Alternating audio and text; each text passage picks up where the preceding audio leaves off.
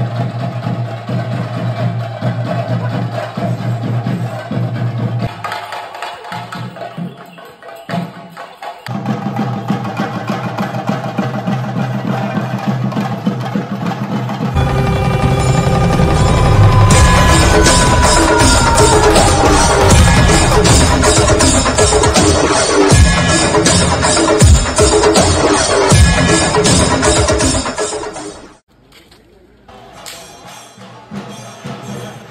എല്ലാവർക്കും ഊരാളോകത്തിലെ പുതിയൊരു വീഡിയോയിലേക്ക് സ്വാഗതം